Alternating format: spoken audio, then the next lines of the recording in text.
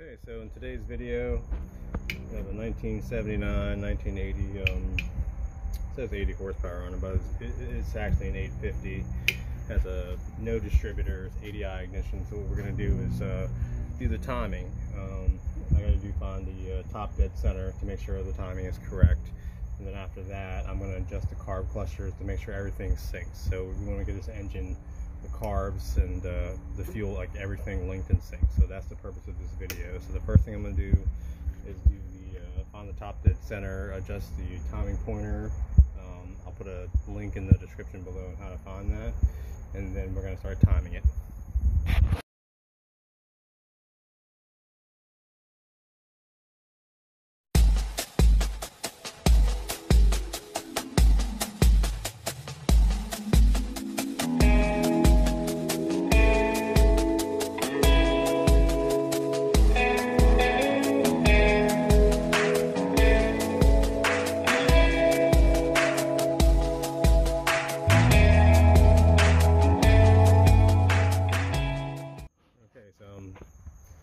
Looking for top dead center, and I'm looking at this label. Very difficult to read. think the zero is right there after the line, which I put another flywheel, which is way easier to read, which the zero is right there after the line. So that is going to be our top dead center right there. So we got 0, 2, 4, 8, 10. 0, 2, 4, 8, 10. Okay. Alright, so now I'm just going to line up the timing pointer on this scratched out zero right there. And that's going to be the uh, top dead center. Alright, so the next step is to get this carb cluster.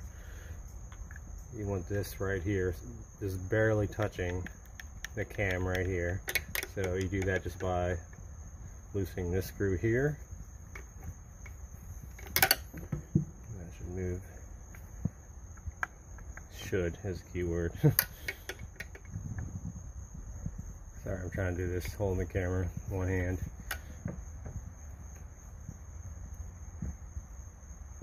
Okay. Alright, so that, if I can zoom in.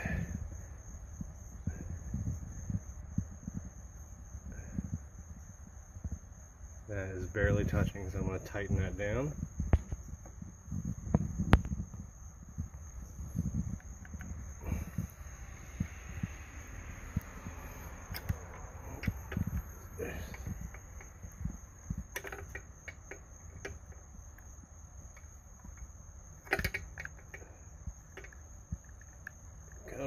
Hand. It's hard to watch the film and watch this at the same time. Okay. Alright, so that's tight, snug, and that's just barely touching. All the shrouds back on, and uh, we're gonna start timing this thing. The, uh, the idle needs to be set uh, anywhere from 3 to 0 per spec and then we're going to set uh, the timing calls for 27 but given the uh, ADI ignition system we set it to 29 that equals 27 so what we're actually going to do is set it to 28 that way the max spark hits 26 because you want to trim down the max spark just a little bit because today's fuel is crap. So I got everything hooked up timing light. I got the shroud over it just because it's bright out here. So I need to be able to read this See if I can hit uh, at idle uh, anywhere from 3 to 0 before top dead center. Alright, so we're setting the idle 0 to 3 degrees. Power's on, lights on.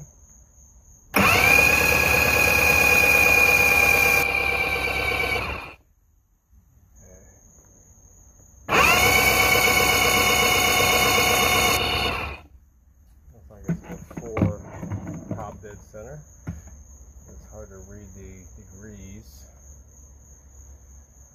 Alright, so I'm going to take this off.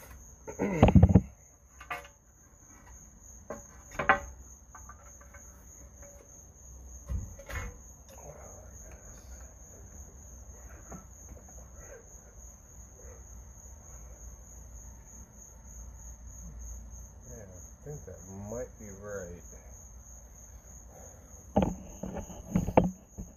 Of course, you can look at the readings there. Very difficult to read. I was hitting right before top dead center. So we just need about maybe two, maybe three degrees before top dead center. Which I think we have on the first setting. But I'm going to verify it because that's what I do.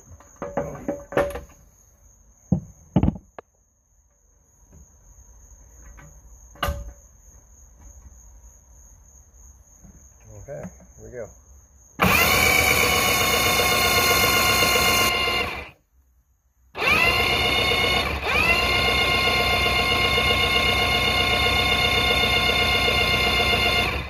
Okay, looks like it's hitting right there. So the next thing we got to do is set the max.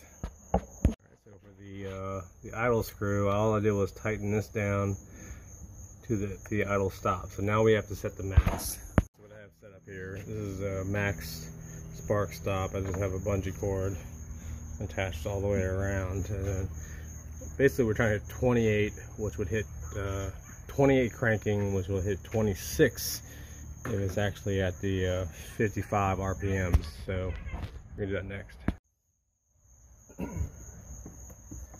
Okay, so 28. That's what we're aiming for.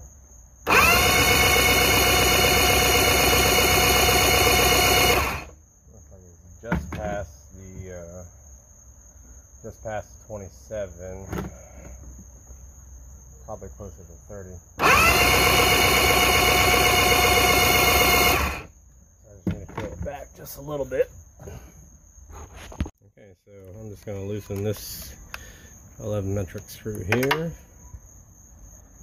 I'm going to actually screw this in just to push the timing forward. And then we'll lock it oh, right there, and that should put us at 28. Okay, so 28. Here we come.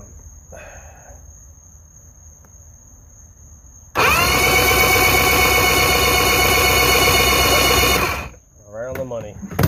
Alright, so the timing is set on the engine. Alright, so everything's been uh, timed, uh, and synced. The primer bulb is full, the water is running. Moment of truth. Let's see what happens.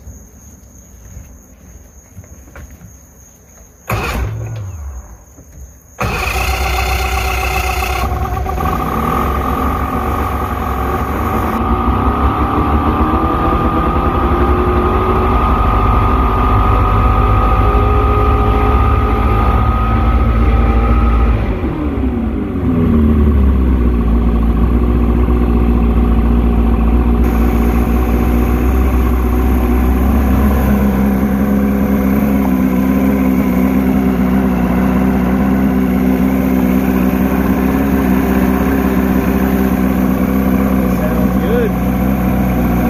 Sounds good. It was running.